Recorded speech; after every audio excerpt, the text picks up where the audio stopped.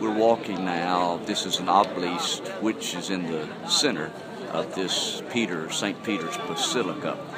It is believed that this was in Nero's circus when Peter was crucified, at the time when tradition says Peter was crucified.